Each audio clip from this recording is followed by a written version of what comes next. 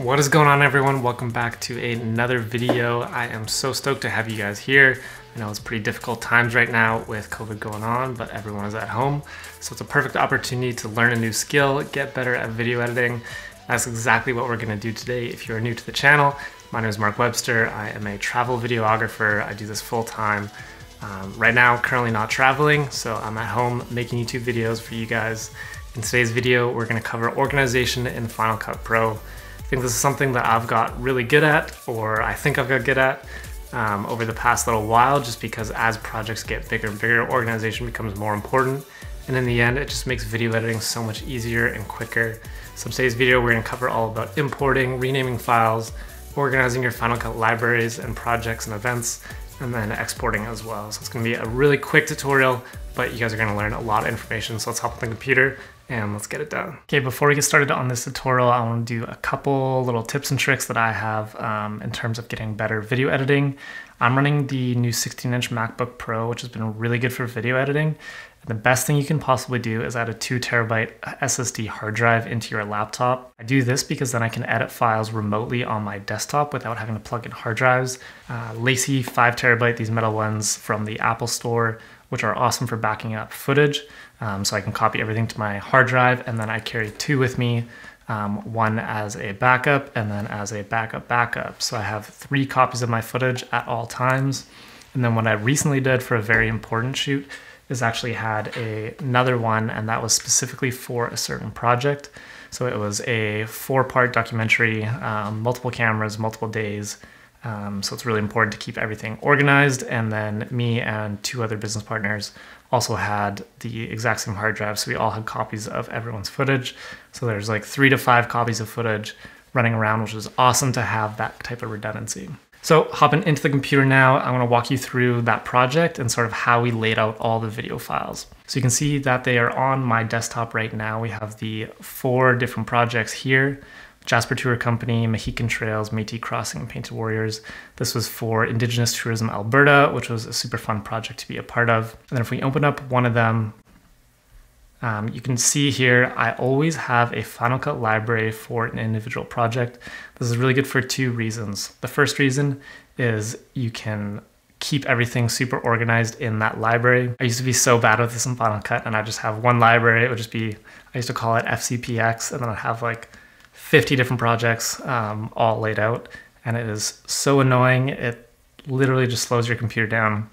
It's not fun at all. Photo and video, always keep copies of photos and video. I'd never like to delete anything. You never know when something's gonna happen.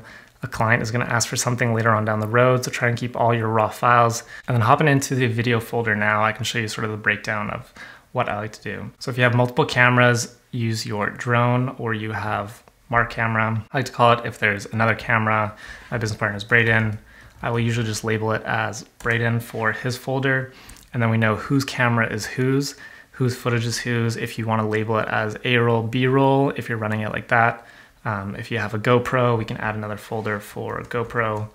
If you have that type of footage, with drone, camera A, camera B, um, GoPro, try and keep everything as organized as possible. And then going into the folder, one of the most important things with video editing and organization is renaming your files. For the longest time, I didn't do anything like that. Um, and in the end, it just gets confusing. If you're shooting Sony, you just get C001 and then you get that over and over again. And what can happen in Final Cut is if both cards were formatted on each of the cameras and then you import the footage is it won't import because it already thinks that it has that file name in there. So sort of a naming structure that I like to do. If you go Command A, if you're on a Mac, select them all, right click and go rename. And then I would like to do the client. So this is ITA, the project, Painted Warriors. And then the camera, this is me. So I'm gonna do Marc Webster and then start the numbers from one from there. So now all your file names are formatted. You know what the project was, what video it's for, and then which camera it was from, which is super important. You never want to get things organized, and then when you go to try and find your files, it makes it really easy. Hopping into the Final Cut library now, this is really why I love to have a specific library for each project. It makes it really easy. So if you look on the left, I make a new event for the project. This is where I keep all the video files. So you can see I have A-roll selects, Métis Crossing interview one, interview two, interview three, the full video, 15 second teaser highlight, 30 second teaser highlight, and then you have some of the clips. So if you have any sort of branding, if you have your music, I like to add it into this project event. And that's sort of any sort of miscellaneous things that isn't your video sort of files. And then I make another event for I call the mark, and then I have all the video files here. Then I can easily find my video files and it's not confusing with a different camera, with a drone, with a GoPro, anything like that. And then another folder for drone, just like so, so that you can find drone footage super easily. The worst thing you can do is be hunting. We all know with video editing how long it takes to actually go and find footage. And knowing which camera is which and keeping everything organized is super, super important. You may be wondering, where are the audio files? Where do you save those? And I personally really like to use Dropbox for any sort of miscellaneous files like that because it keeps everything in place. It's happened so many times where you like download music, you import into Final Cut, and then you wipe your downloads and then the song is gone. Sometimes you can't find it again. That is the most frustrating thing. So if you go into Dropbox, I can't re recommend Dropbox enough for video editing. My company is called Roam Creative, where we do all our video editing going into Indigenous Tourism Alberta and this is sort of the naming structures I have for the projects to keep everything organized. Audio files, we had sort of a backup audio, lav mic going, as well as wireless audio for some of the interviews.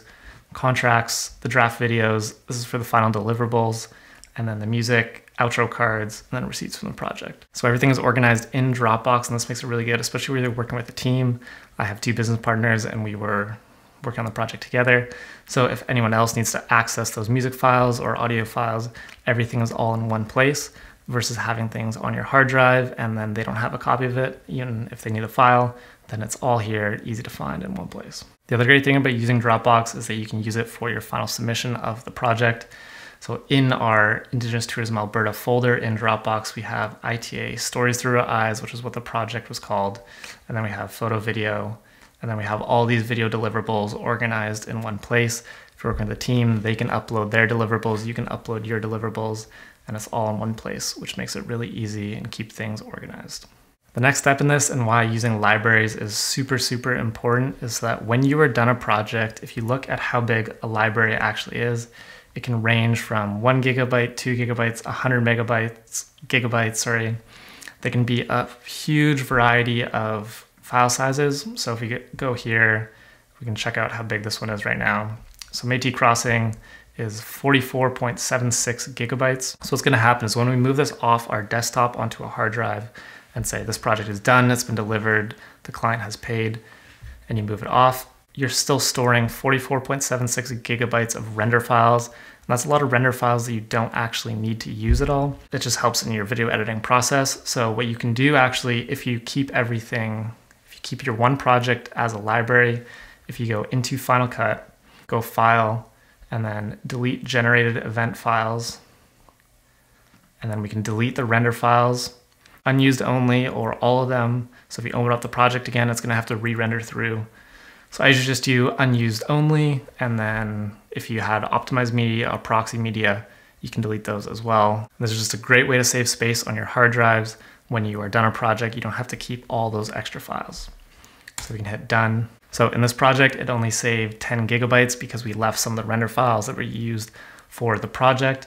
But if you had a big library with hundreds of gigabytes, you can save a lot of space, which is really cool. And then once I'm done, I make sure I recopy those onto my hard drives, just like so. Another service that I really like to use is Backblaze to back up all my hard drives to the cloud, which is awesome. So I have two permanent copies on hand, one at home, one in my bag, and then another copy in the cloud with Backblaze. So I'm gonna Backblaze here on my computer, it is 42,000 files left of almost 4 million files. If we go to our preferences, um, you can say I'm backed up as of 107 p.m. And basically you can select hard drives to back up um, with Backblaze. So if you have any video files, um, you plug in your hard drive and the computer will automatically start backing up that hard drive to the cloud. So you have three copies of everything, two physical, and then one up in the cloud.